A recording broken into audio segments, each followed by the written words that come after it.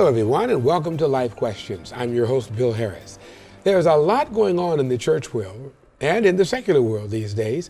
Christians are concerned about a number of things like who do we vote for in the coming election?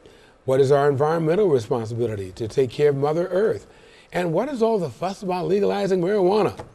Well, Life Questions attempts to confront these and other serious questions that you, our viewers, send us to answer. And so this week we have invited a panel of ministers to research your questions and bring solutions from a biblical perspective. Today we're joined by a distinguished panel that I'd like to introduce you to. First, we have Pastor Michael Wykoff of the Joy Harvest Fellowship in Lima. Secondly, Darwin Dunten, who is pastor of the Mount Tabor Church of God in Celina. Next, we have Pastor Dave Burkhart of Westminster United Methodist Church. and rounding up our panel for today is Nathan Branim of the Grace Fellowship Church in uh, Lima, Ohio. Happy to have you all with us today. Now, let's continue with um, we, where we left off last week. We were talking about suffering Suffering for Jesus was one of the questions that came in. And Pastor Wykoff, I, I appreciate the way you were so careful in making a distinction about suffering for Jesus mm-hmm.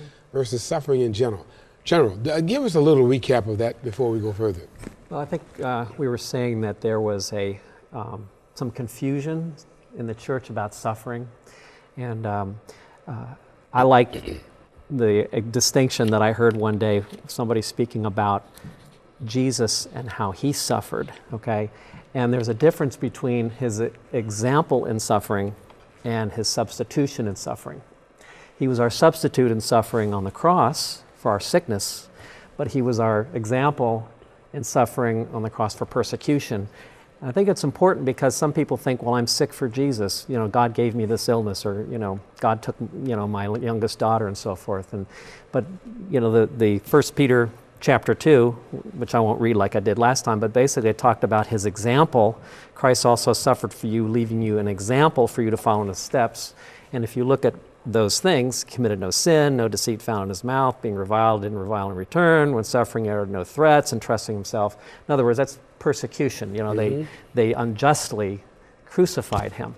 But then in the very next breath, we have the famous healing scripture, and he himself bore our sins in his body on the cross so that we might die to sin and live to righteousness. By his wounds, you were healed. And we see that that's a physical healing because he's quoting from Isaiah chapter 53, where the Hebrew words don't mean griefs and sorrows, but it actually means pain and suffering of illness. And also in Matthew, when Jesus was healing people, they quoted that same verse. You know, he took our infirmities and carried our sicknesses. So a lot of people are taking sickness and calling that suffering for Jesus, which it really is not. He was our substitute, He took it for you. But on the other hand, He promised us suffering for persecution. Okay. And that's what Paul suffered, and he uh, talked about that at length. All right. Any other one follow up on that? It was mentioned uh, last week about how um, Paul suffered because of the the people that he was so concerned about, and right. I, I, never really um, experienced that until uh, finally giving my life to Christ and and becoming a pastor and and then you really begin to worry about or I did anyway began to worry about the folks in the church and uh, you worry about salvation of your loved ones and your mm-hmm. friends and and even your enemies because um, because hell is real and mm-hmm. and mm-hmm. nobody would ever want anyone to go there and so so we do suffer in that in that realm as well for sure yeah. yeah.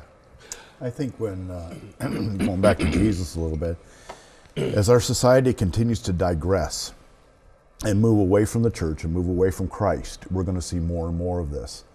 And uh, you know, Proverbs 29 27 says, An unjust man is detestable to the righteous, and the one whose way is upright is detestable to the wicked. Hmm. And I think as we continue to hold strong and say, this is what Christ wants, this is what we are to do, and everything else. We're supposed to maintain this for Christ. Uh, society is going to continue to call this even more and more detestable, which it has. I mean, uh, how many times has the church been called all these names, all these, you know, you're racist, homophobe, bigoted, and everything else, and you know we're not.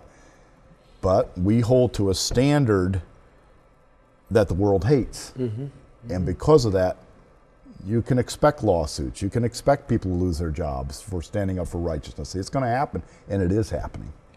So persecution has arrived, is what you're saying. Not the way I ever expected it, but yeah, it has. Um, you know, we're not going to have people storming into our churches and with AK-47s, but as far as economic persecution, as far as uh, I mean, people, a man just was a week or two ago, a week or two ago, lost his job because he wrote an article. He said there's two genders, and he lost his job as a result of it. Mm-hmm. You know, and so I never thought in 34 years of ministry this is how it would start, but mm-hmm. this is how it's going. Mm-hmm. And um, I think it's just going to progress. It's going to get worse and worse. And don't discount that AK 47s coming into the church Oh, yeah, either. they're We're here. seeing it They're happen here. even today. Yeah, they're here. So, yeah. But now I'm, I'm referring to that as the government because we used to do yeah. that in the 80s and everything else. Uh, yeah, and we saw that in uh, Fort Worth, Texas, definitely. Yeah.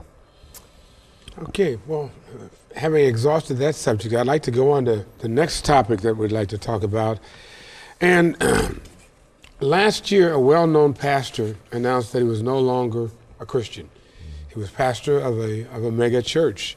And um, the person that wrote this question said that they had followed this man through the media, and I guess they had been um, a follower in the, in the deepest sense. Now they're a bit- discouraged about Christianity because they're saying, you know, how can this guy who pronounced himself to be such a great uh, Christian now turn away? And the writer of the letters to us said that this person appears to be happier now that they have abandoned Christianity than they were when they were professing it. And now they're beginning to be concerned about their own personal beliefs as a result. So, what do you make of that? In the around August or September of last year, there was a number of Christian celebrities, pastors who were struggling with the faith and renouncing the faith. Uh, I believe she was. This person was talking about Joshua Harris, the uh, author of the uh, book "I Kissed Dating Goodbye," and then eventually he became a pastor in a mega church, and uh, then he um, he left the church, left his wife, um, marched in a gay pride parade up in Canada. I even just showed everybody a picture of him with a with a rainbow donut that he was eating, surrounded by his friends. And so I, I see two things here. Why is it happening? And number two is uh, her dilemma. The, I'll just talk about the dilemma real quickly. You're following a man, not Jesus. And if you're going to follow a man, you're going to be very, very disappointed. Secondly, is um, why is this happening? I think two two reasons. One is is that uh, for so many years the church has enjoyed uh, looked favor upon in the United States and everything else. Now it's not, and I think that's a struggle. And even as a pastor, sometimes I struggle with. You know, I used to be liked by everyone, and now I'm not. What, what's happening here? You know this, and, and so it's a little bit of a, a course correction that even I had to go through. Okay. The second reason, there's something there. There's something there, and I want to, uh, uh, sin or something that has not come out yet that I think will come out that he has struggled with for so many years, and all of a sudden he says, "I'm done. I'm done fighting the battle." And and then he he, he- I, I, there's something there. I al- when a pastor falls I, or or leaves, I goes, "What's there?" There's something there that we don't know That has been there for a while. been there for a while that he has struggled with and, and put under the rug or whatever. I've got my ideas, but it's just my idea. Any other ideas on that uh, concerning that letter that we got? Um, well, one of the things that really bothers me in here, it says that uh, it seems like he's always happy. Um, he's happier since making this announcement. And, and I think really what he's experienced is probably a false happiness. Um, I know uh, before I became a Christian, I would tell you that I was happy, and, and I had a lot of joy in life. Um, but but I can also tell you that I was filled with uh, struggles and trials, and and they were they were deep inside and, and not often came to the surface. Um, I thought I was happy anyhow, uh, until I really truly uh, discovered a relationship with Jesus Christ, and then I found out what true happiness and true joy in life is. Um, and it's something that that the cares of the world or the the promises of the world just can't fulfill. Just can't fulfill. Pastor, uh, have you had anything to say so far? Uh, I, I would just say on that note that there's always a honeymoon period in any kind of you know decision that you know maybe has been a long time coming. So uh, it'll it'll wear off very quickly. He'll, he'll see that uh, this this was a big mistake. Um, you have to forgive me for being vague on this next point, and that is uh, I believe it was one of Billy Graham's associates in in their earlier days uh, defected from the faith, which uh, people that apostatize, it's happened from the days of Paul. Philippians 3.18, Paul says, you know, many now that walked with us are now enemies of the cross of Christ. But one of uh, Billy Graham's uh, fellow pastors defected from the faith and uh, ran into all kinds of issues and was about ready to die and uh, had, a, had a deathbed confession of something like, I, I really miss Jesus. I really miss Jesus. And so I, I agree with Pastor Dave that true joy comes from knowing Jesus. And, and sad enough about Joshua Harris, he may be experiencing what may be happiness now, mm-hmm. but he's going to soon see that there's no substance to it and that real true joy is found in Jesus. Amen. Bill, just, and I'll be brief here mm-hmm. on this. Um, a pastor being brief. No, no, anyway. What a concept, huh? the lady that asked the question, let's mm-hmm. talk about her just for a quick second. Sure. You know, and I don't know if she's listening or whatever, but, you know, I, I think the, her wording was, um, you know, now I find myself questioning what I've always believed about God is really true. What can you tell me to convince me that God is real? And so you're looking at a, at a like you said, you know, uh, you know, Darwin, that, that you can't look at a man, you have to look at Jesus. And Jesus is the one you seek. You know, and, and uh, basically, in so many words, Jesus says, if you seek me, you will find me. You know, if you're concentrating on somebody that fell, and Jesus said, people are going to leave the faith. They just are, okay? Um, but, you know, he rewards those who diligently seek him. Jesus is not going to barge into your life. He's going to influence you. His spirit will convict you, you know, and, and woo you, but it's up to you. Do you want him or not? And if you really want him, then seek him and you will find him. And, and then you will have your answer that God is real. Absolutely. Very good. Very well put. I'd like to turn our attention to another subject, uh, but we're going to take a break now. When we come back, I'd like to talk about the complaint that somebody has. When trying to take her loved one to church, she says there are just too many hypocrites in church, and so therefore she's discouraged from going. How do we how do we deal with something like that? Stay with us. We'll be right back to discuss that right after this.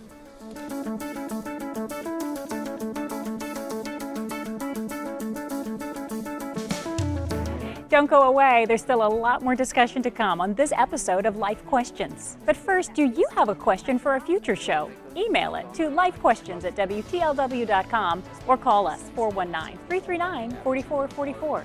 You can also suggest pastors you feel would be a good fit for our panel. Again, send your question ideas and pastor suggestions to lifequestions at WTLW.com. Now, back to the discussion.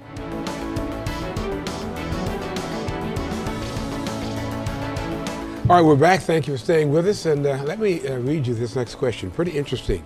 Gentlemen, listen to this. My sister in law says she won't go to church because she has met too many Christian hypocrites. And what can I say to her to convince her to give church another chance? Give the church another chance. How, how's she going to go about convincing her sister in law? Well, You're all looking at me. smiling, but nobody wants to jump Because in. we've all heard this. We've all heard this. Okay. Yeah. Filled with hypocrites. Okay, well, we I- I- yeah. one more. Come on, we can use you. Yeah. Well, you know, you can. Um, there's different reasons. I think. Um, I think one of them is when you really. It, I'm just going to go on my experience. There can be other other reasons, good and bad, but these are people that are looking for an excuse not to turn their life over to the Lord.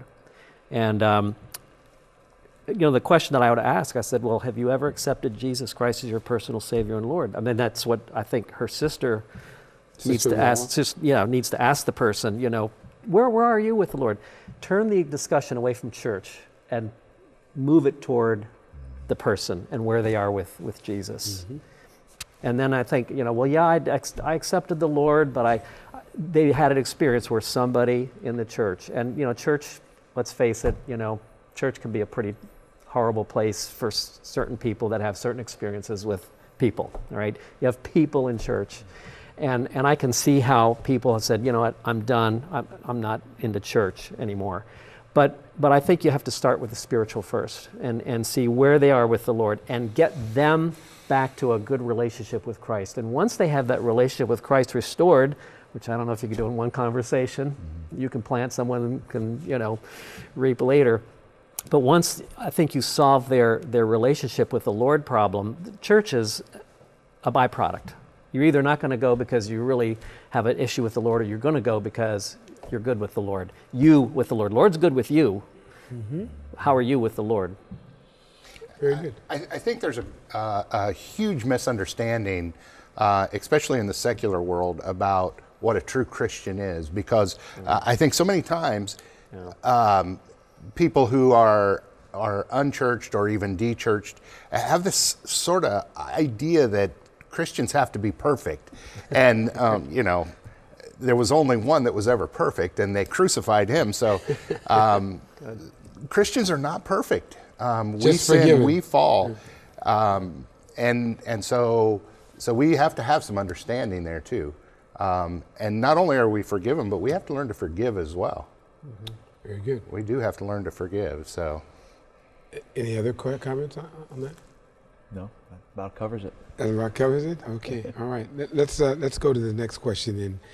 Um, it says here, what does the word unity mean to you as a pastor? It seems that there are many pastors who don't want to work with others, and that is confusing to me. She says, or he says. So, if the pastor's preaching unity, but the pastor himself or herself won't join in unity with other pastors, it, it's kind of conflicting with your with the message. You're smiling. I've noticed this even within our own denomination now when we get together uh, uh, in different settings, and, and I don't understand what it all is. I think it's it's a lot of, of humanness within us, um, maybe jealousy within the the ranks of the church. Is it is it territorial sometimes? or- Could be, could be. Um, you know, I'm a United Methodist pastor, and they move us around quite a bit. Sure do. And I, I think it's the the whole idea that we don't want to see somebody do better than we did at that church, and and so you know, it's it's kind of a struggle, but um, but I love working with other pastors. Uh, I love helping to prepare them to go out and do ministry.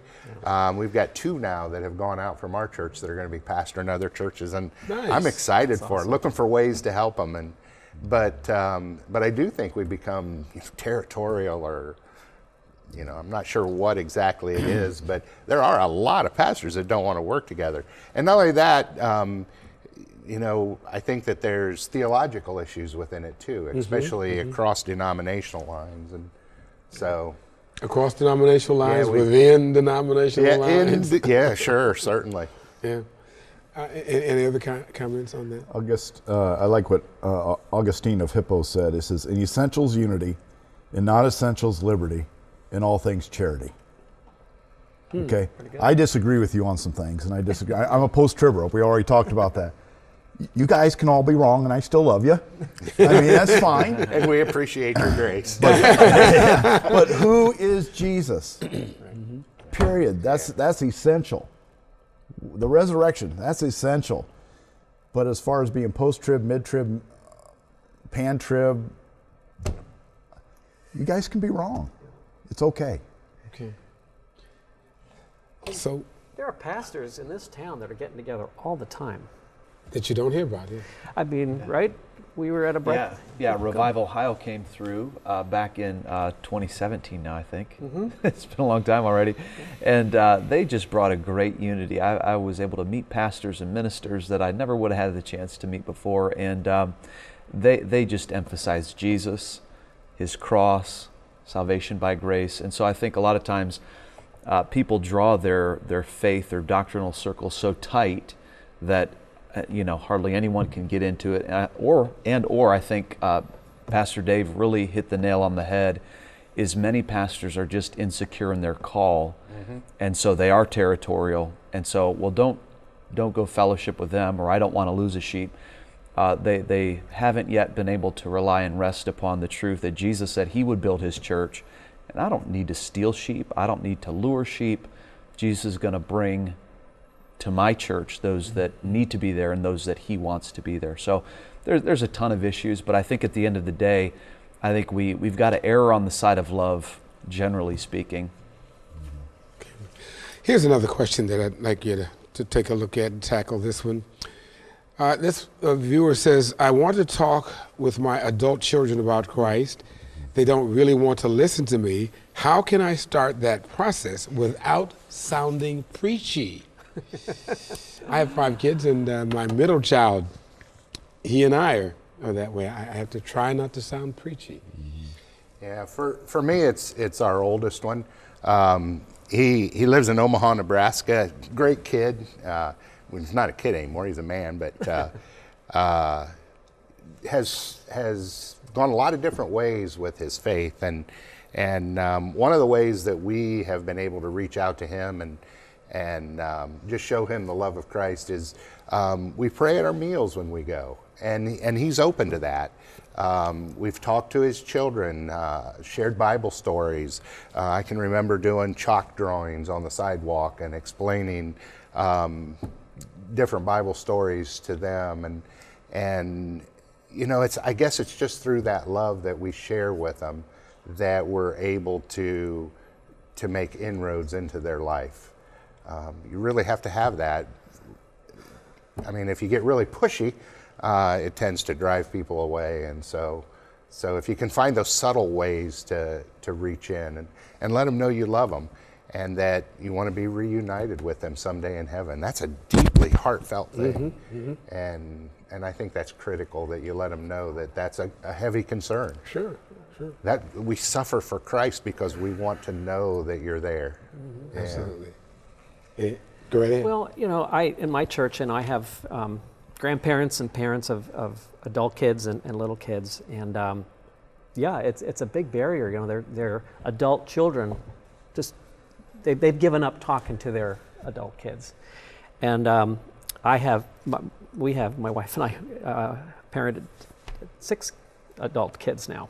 You know, and by the way, you never stop being a parent. That's true. And uh, you know, you don't. At one point in time in their life, they're going to be responsible for their own direction. Okay, but you do have some authority and influence. But I think the first thing to do is show love. If you have opportunity, um, take it obviously. But you know, you don't have opportunity to do it anymore. I, Mom, don't talk to me anymore. I don't want to. Hear, I don't want to hear about. It. Let's just be family. Um, that's when you uh, do what Jesus said, and I think it's in Luke 10, 12. Pray for laborers. Somebody, they will listen to somebody. Yeah, It's up yeah. to you to pray Yeah. for them. You know, I don't think there's any prayer in the Bible that says, okay, pray for the salvation. I think Paul did for the, you know, the Jewish people in general. He wanted them saved, but, but really, pray that a laborer will come to them. That's number one. And then number two, show love because I had kids, you know, a couple, three of them strayed from the Lord. But they came back, okay? And, and I don't, I, I, obviously I prayed. You, you do take a little bit of authority in your prayer time, not with them, but against the, the strongholds sure, and the demonic influences and the thoughts that they have and the things that they listen to and the arguments and the, you know, that's the, the arguments that exalt themselves against the knowledge Yeah. of Christ. You have authority to, to bring them down, and, and that's the obstacle. So um, I, that, that, would, that would be my advice. Excellent. Speaking of authority, And love, love them, by Yeah, the way. okay. Because they always say, Dad, back when I was rebellious, you loved me Yeah. and you listened to me. Yeah. And I really appreciate that. That had as much to do with my coming to the Lord as anything else. So, Okay. anyway. On another subject, um, speaking of demonic activity and the like, 11 states have legalized marijuana, and another 14, 15 or so have decriminalized it. So you've got about Oh, just over half the country where there's no consequences for marijuana.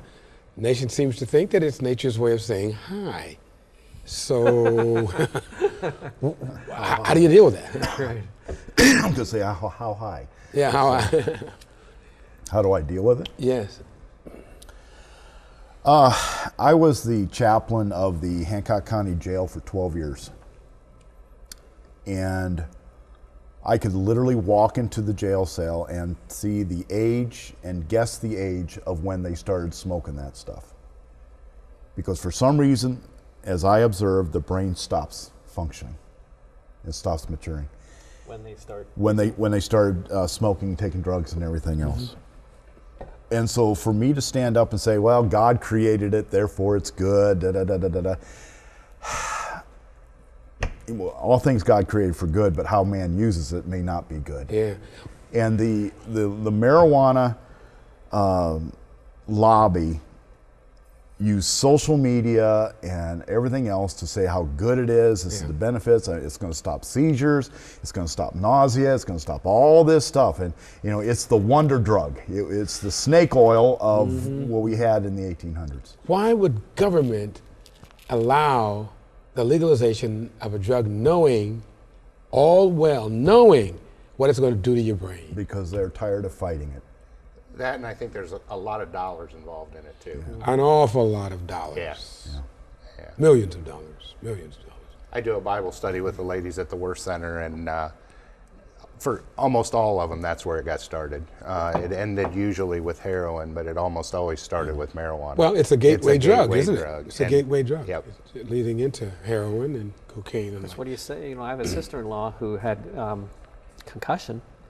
Nothing helped until medically she started using using it. So what do we say to that? You know, I mean, I, I, you know that that's a question that I'm wrestling with. You know, I think it's like a gun. You know, you know, a gun can be positive or negative. What's the what what do I say to them? The key word you said was medically. Mm-hmm. yeah. Okay. It's just like any drug. Right, If you if you take it out of, and they've extracted the chemicals out Right. of that, so it's Okay. there. All right. We're going to have to Good. leave it at that. I, I, perhaps was a bit unfair bringing that question up so late into the program. Uh, we can take that up another time. But thank you very much for your input, and we certainly appreciate you being here this week and, and last week. And hopefully, it will be quite enlightening to our viewing audience. And we thank you for tuning in. And we'll ask that you tune in again next week at this same time. Until then, I'm Bill Harris. God bless you for now. Bye bye.